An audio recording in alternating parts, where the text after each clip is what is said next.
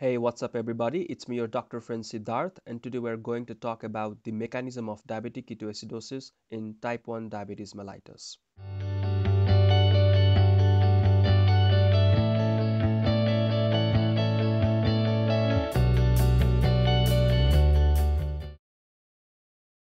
This is the enzyme called adenylyl cyclase present in the cytosol. The function of adenylyl cyclase is to convert ATP into cyclic AMP. The cyclic AMP will in turn stimulate the enzyme protein kinase. The job of protein kinase is to stimulate the enzyme lipoprotein lipase and the job of lipoprotein lipase is to convert triacylglycerol into free fatty acid. Since this enzyme is in cytosol, therefore, in presence of this enzyme, free fatty acid will increase in the cytosol.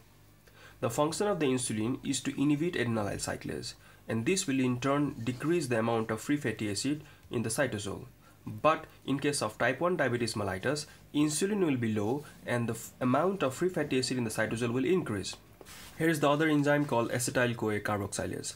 The function of acetyl-CoA carboxylase is to convert acetyl-CoA into malonyl-CoA. The malonyl-CoA will inhibit the enzyme carnitine palmitoyl transferase 1, also known as CPT1. The job of CPT1 is to translocate acyl-CoA from cytosol to mitochondria.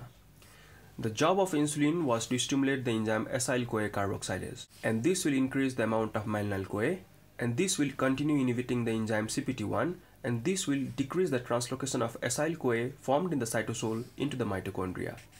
But in case of type 1 diabetes mellitus, insulin will be low and this will ultimately increase the amount of acyl-CoA into the mitochondria. Now, since this acyl-CoA has entered into the mitochondria, inside the mitochondria beta oxidation takes place and this will form the acetyl-CoA. This acetyl-CoA can either enter the ketogenesis and form ketone bodies or can enter in the TCA cycle to form energy and release carbon dioxide. But since beta oxidation is going on inside the mitochondria, this will use up NAD+. And since NAD plus has been used up, there won't be the sufficient NAD plus for the TCA cycle to run, and hence acetyl-CoA will be diverted to form ketone bodies, acetoacetate, acetone, and beta-hydroxybutyrate. And this is why diabetic ketoacidosis occurs in type 1 diabetes mellitus due to absolute insulin deficiency.